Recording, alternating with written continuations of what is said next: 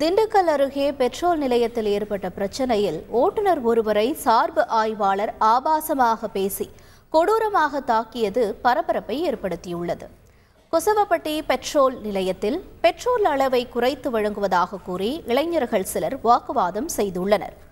அங்கு வந்த அம்பிளிக்கை காவல் நிலைய சார்பு ஆய்வாளர் செவடமுத்து பிரச்சனையில் ஈடுபட்ட இளைஞர்களை காவல் நிலையத்திற்கு அழைத்துச் செல்ல வாகனத்தில் ஏற்றிய நிலையில் அந்த இடத்தில் வேடிக்கை பார்த்து கொண்டிருந்த அந்த பகுதியைச் சேர்ந்த திருப்பதி என்ற ஓட்டுநரையும் வண்டியில் ஏற சொன்னதாக தெரிகிறது. அதற்கு திருப்பதி மறுப்பு தெரிவித்ததை அடுத்து வலுக்கட்டாயமாக அவரை வண்டியில் ஏற்றிய சவடமுத்து கம்பை ஓங்கி அடிக்க முற்பட்டார்.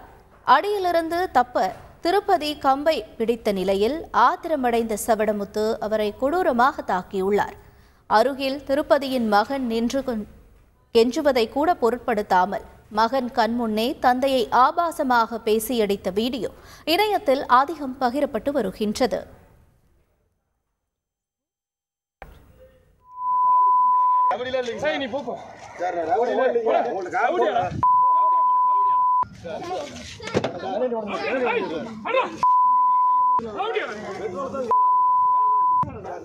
வண்டியில